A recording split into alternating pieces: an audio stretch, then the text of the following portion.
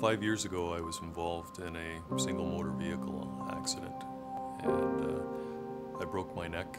I ended up in uh, Lyndhurst Hospital, Toronto Rehab for spinal cord injuries. And at that time, I was working hard. I didn't understand anything to do with uh, the law or um, settlements.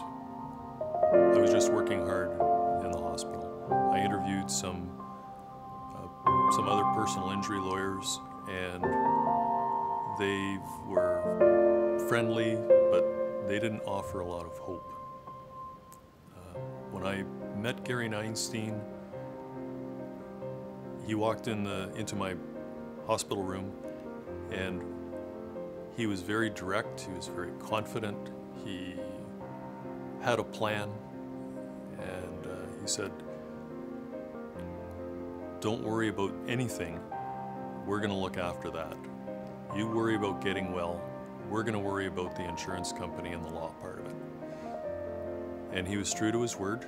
Uh, Neinstein personal injury lawyers took care of everything, all of the all of the team that looked after me.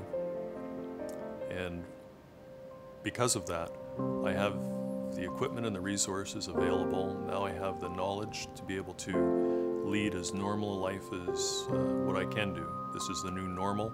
And I'm very grateful to Gary Neinstein and Neinstein Personal Injury Lawyers for helping me through with all that.